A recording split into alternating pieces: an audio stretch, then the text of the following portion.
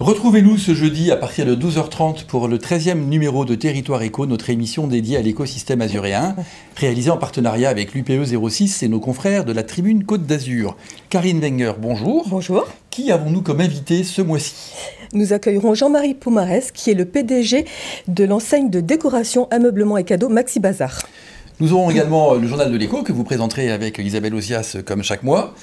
Et puis nous partirons dans les coulisses d'une entreprise. EMR. EMR est un ascensoriste niçois fondé en 1920 qui est le centenaire et le un petit poussé dans cet univers de multinationales et il fait de sa petite taille un bel atout. Et puis pour la dernière partie de l'émission, et comme à chaque mois, eh bien nous consacrerons cette partie au pitch de Fairvision. Fairvision, c'est une start-up niçoise qui a développé des solutions de captation vidéo permettant de retranscrire des événements sportifs sans caméraman, et ce, grâce à l'intelligence artificielle. On se donne rendez-vous jeudi 2 mai à compter de 12h30 pour ce territoire éco à voir et à revoir sur nos sites internet, nos pages Facebook et notre chaîne YouTube.